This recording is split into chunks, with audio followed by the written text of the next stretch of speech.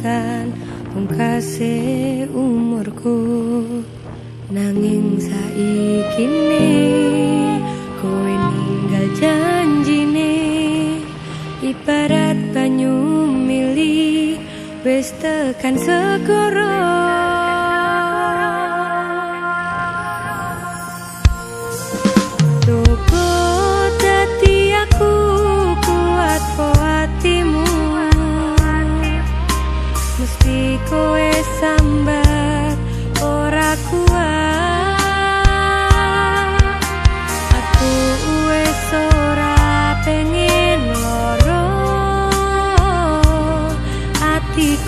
tonight.